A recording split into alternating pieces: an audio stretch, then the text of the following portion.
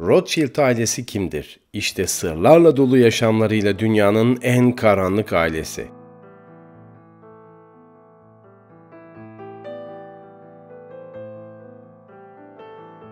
Sırlarla dolu yaşamlarıyla dünyanın en karanlık ailesi kabul edilen Rothschild ailesi kimdir? Birçok siyasi ve ekonomik olayda parmağı olduğu konuşulan, dünyanın gördüğü gelmiş geçmiş en karanlık ailelerinden biri olan Rothschild ailesi. Uluslararası finans alanında Rothschild kadar etkili olduğu düşünülen özel bir aile daha yoktur.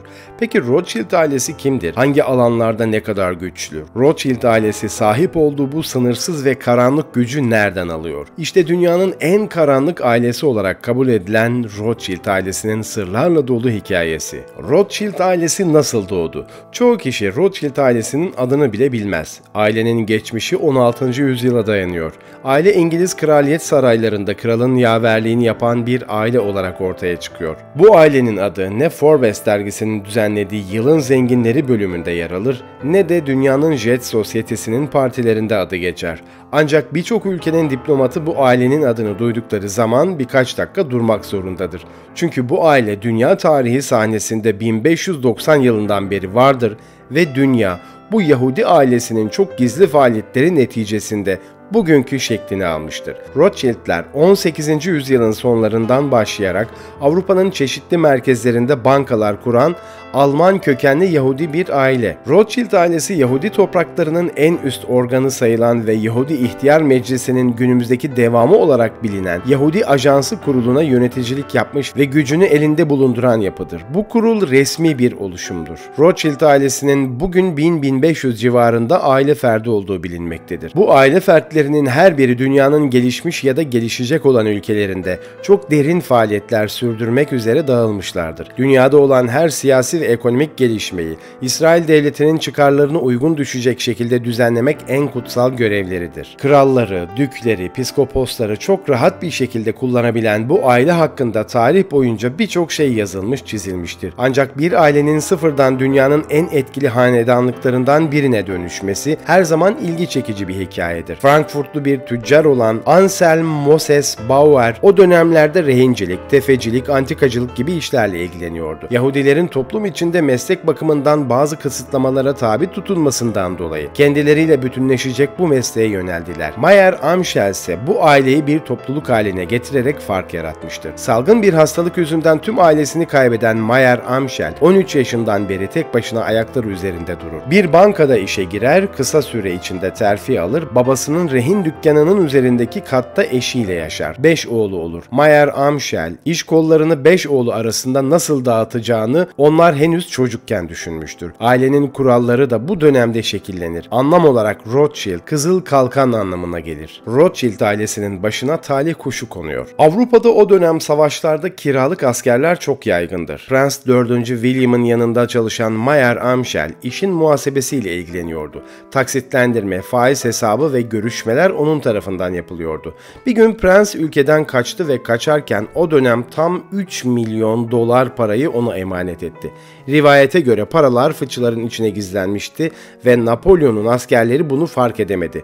O paranın sonradan prense iade edildiği söylentisi de mevcuttur ancak kesin durum bilinmemektedir. Amschel Mayer yüksek sosyeteye giriyor. Prensin bıraktığı 3 milyon dolar Amschel tarafından çocuklarına paylaştırılmıştır. Kızlarına ise az bir miktar vermiştir. Kendisi kadın erkek eşitliği düşüncesine sahip olmayan biriydi. Kadınların tek misyonu politik evlilikler yapmaktı. İlerleyen dönemde ise aile için evlilik ailenin sermayesini ve gizliliğini korumak adına sık sık gerçekleştirilecekti. Amscher Mayer Rothschild oğullarını Avrupa'nın 5 büyük başkentine gönderdi. O dönem iletişim bu kadar kolay olmadığı için ani gelişen olaylarda en kısa süre içinde irtibatta oluyorlar ve ona göre pozisyon alıyorlardı. Ailenin kuralları. Rothschild ailesinin kuralları şöyle. Ailenin en büyük erkeği servetin ve ailenin lideri olacaktır. Kuzenler arası evlilik aile servetinin dışarı çıkmaması için ön koşuldur. Aile servetinin gizli tutulması ve bölünmemesi, onun için bu aileyi 500 zengin listesinde asla göremezsiniz. Aile içi ortaklıklar kurulmuş ve bu ortaklıklar Amschel Mayer Rothschild'den sonra bir çatı altında toplanmış ve halen Londra'da bulunmaktadır. Birleşmiş Milletler tek dünya fikri. Bazı insanlar 20. yüzyılın başlarında medeniyetin sonu geldi görüşünü savunuyorlardı.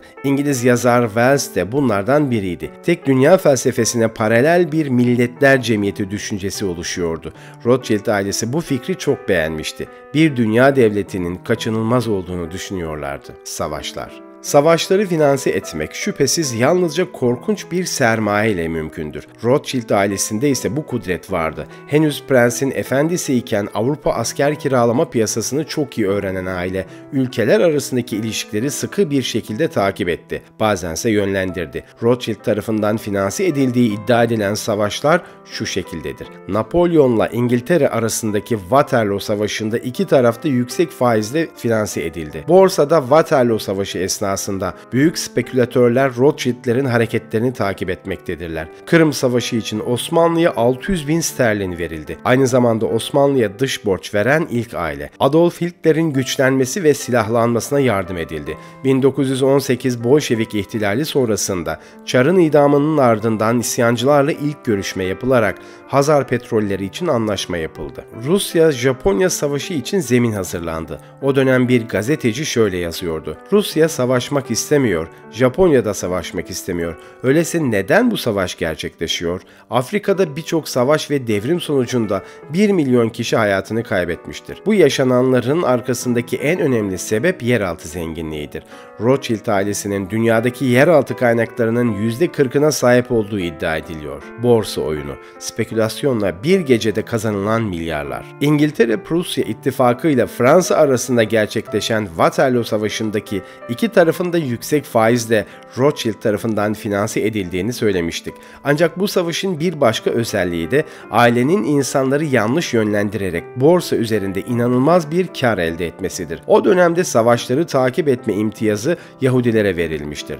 Rothschildler ise Avrupa'nın 5 büyük kentinde ciddi bir nüfuz edindiği için iletişimleri kolay olmaktadır. Borsada Waterloo Savaşı esnasında büyük spekülatörler Rothschildlerin hareketlerini takip etmektedir etmektedir. Bunun bilincinde olan aile ellerindeki tüm hisseleri satmaya başlar. Bu da savaşı Napolyon'un kazandığına yorulur ve herkes tüm hisselerini satar. Bu esnada hisse fiyatları da dibe inmektedir. Rothschild el altından düşük fiyatta tüm hisseleri toplar, savaşı İngiltere kazanmıştır. Ellerindeki kağıtların değeri kat be kat yukarı çıkacaktır. Para hanedanlığı. Prens'ten kalan 3 milyon dolar günümüzde nasıl trilyon dolarlara ulaştı? Ailenin servetini ciddi biçimde arttıran borsa oyununun arkasındaki kişi Nathan Rothschild aile servetini 5 yılda 3 milyon dolardan 7 milyar dolara çıkarmıştır. Bundan dolayı bir finansal deha olarak kabul edilir. Sonraki dönemlerde ise yüksek faizli borçlar, her başkentin yapılanma sebebiyle değişen olaylara göre yapılan ticaretler serveti arttırarak götürmüştür. Toplam servet servet 1937'de ABD gayri safi milli hasılasının iki katı, 1937 yılında ABD Başkanı Roosevelt'in mağlubiyetiyle borsadan yine ciddi anlamda para kazanmış ailenin serveti 500 milyar dolara yani Amerika Birleşik Devletleri'nin gayri safi milli hasılasının iki katına çıkmıştır. Günümüzde ise tahminler 3 trilyon dolar civarındadır. Tahmin diyoruz zira aile kuralı bu işin gizli yapılmasını piyasaya çeşitli paravan firmalarca inilmesini öğütlemiştir. Aile de aynen öyle davranmaktadır. Rothschild ailesi 1972'de Fransa Jet Sosyetesi için şatolarında bir parti vermiştir. Rothschild ailesiyle ilgili birçok film çekilmiş, birçok kitap yazılmıştır yazılmıştır. Bunlardan bazıları Rothschild Bankası, Dear Rothschild, The Rothschilds, Cesur Yeni Dünya, Delikanlı, Damdaki Kemancı müzikalinde If I Were a Rich Man adlı şarkıya esin kaynağı olmuştur. Akla Rothschild gelince komplo teorileri de beraberinde gelir. Öyle ki dünyanın tüm komplo teorilerinin önemli bir kısmı aileyle ilişkilendirilir. Illuminati. Türkçe aydınlanmışlar anlamına gelen Illuminati, internette sayısız komplo teorisiyle ilişkilendirilmiş, varlığı ve faaliyetleri henüz kanıtlanmamış bir topluluktur. Yeni dünya düzenini sağlamak adına çeşitli yöntemleri olduğu ve devletleri, yöneticileri kontrol ederek bunu sağladıkları iddia edilir. Rothschild ailesinin de bir Illuminati üyesi olduğu ifade edilir. Illuminati'nin arkasında olduğu iddia edilen bazı olaylarsa Waterloo Savaşı, Fransız ihtilali, John F. Kennedy suikasti, Hitler'in yükselişi ve İkinci Dünya Savaşı olarak belirtilir. İngiltere ile savaş konusunda çok umutsuz olan Başkan Washington ve ekibi bu teklifi hiç düşünmeden kabul etmiştir. Aile böylece günümüzde tüm dünyada çok popüler olan Amerikan dolarını basma yetkisini elde etmiştir. Savaşı Amerikan kolonileri kazanmış ve İngiltere Amerika'dan elini ayağını çekmek zorunda kalmıştır. Savaştan yenik çıkan İngiltere bu sefer Amerika'ya yardım ettiği için Fransa'ya saldırmıştır. İngiltere bu savaşa Rothschild ailesinin kendilerine finansal destekte bulunacağına güvenerek girdiyse de Rothschild ailesinden umdukları desteği bulamamışlardı. Rothschild ailesi el altından Fransa'yı destekleyerek Amerikan kolonilerinin bağımsızlığını garantilemek istemiştir. Bir taraftan İngiliz borsası üzerinde spekülasyona girişmiştir. İngiltere-Fransa savaşı sırasında borsada müthiş bir hareketlenme olmuş ve borsada oynayan halk savaşı kazanacaklarını düşünerek girişimlerini arttırmışlardır. Bunu fırsat bilen Rothschild ailesi İngilizlerin savaşı kazandığı iddiasını ortaya atarak İngiliz halkının her şeyi borsaya koymasını sağlamıştır. Ancak generaller ve ordudan geriye kalanlar yurda döndüğünde İngiltere'nin savaşta kaybettiği ortaya çıkmıştır. Borsa anormal derecede yükselmiş ve böylece kağıtları elinde tutan Rothschild ailesi bu ticaretten de en karlı şekilde çıkmıştır. İngiliz tarihçilerinin Kara Eylül diye nitelendirdiği bu olayla Rothschild ailesi adeta İngiltere devletinin mülkiyetini de ele geçirmiştir. İyice gelişen Rothschild ailesi, Tanrı'nın kendilerine vaat ettiği İsrail devletini kurmak için hazırlığa başlar. Osmanlı devletinin parçalanması için gerekli olan her şeyi yapmışlardır. Osmanlı devletine komşu olan ülkeleri finanse ederek Osmanlı'ya karşı savaşmaları için kışkırtmışlardır. Böylelikle Sudan bahanelerle Osmanlı'ya saldıran Rusya, Avusturya ve diğer komşu devletler Osmanlı'yı askeri ve ekonomik güç olarak iyice yıpratarak azınlık unsurların ayaklanmasını sağlamışlardır. Osmanlı Devleti nereye koşacağını şaşırmış ve neticede isyan eden azınlıkların ayrı devletler kurmasına engel olamamıştır. Osmanlı'nın en çok dış borcu Rothschild ailesinin sahibi olduğu Bank of England bankasındadır. Osmanlı Devleti Rothschild ailesine olan borcunu ödeyecek durumda olmadığından Rothschild ailesi bunu fırsat bilmiş, Osmanlı'ya kötü bir teklifte bulunmuştur. Sultan II. Abdülhamit ile görüşen Lord Baron Rothschild, Kudüs şehrinin Filistin'in, Suriye'nin ve Güneydoğu Anadolu bölgesinin yeni kurulacak olan Yahudi devletine verilmesi karşılığında Osmanlı Devleti'nin tüm dış borcunu silme ve Balkanlarda, Afrika'da kaybettikleri toprakları geri verme teklifinde bulunmuş ancak Abdülhamit teklifi şiddetle reddetmiştir. Rothschild ailesi bugün dünya genelinde yapılan elmas ticaretinin %90'ını, elmas üretiminin %40'ını, kömür, bakır, uranyum, alüminyum ticaretinin de %15'ini gerçekleştirir. Ailenin günümüzdeki en önemli şirketleri HSBC Bank, Royal Bank of Scotland, Banco Santander, The Beers, Rio Tinto, ING Group ve Aviva'dır. Aile ayrıca 2000 yılında Fransız devletine sattıkları BNP Paribas şirketi ile Soman Bankası'nın da kurucusu ve sahibidir. Son yıllarda şarap pazarına da giren aile Fransa, Şili, Amerika ve Güney Afrika'da üretim yapmakta. Fransız şarap piyasasının %50'sini elinde bulundurmaktadır. Ailenin serveti yaklaşık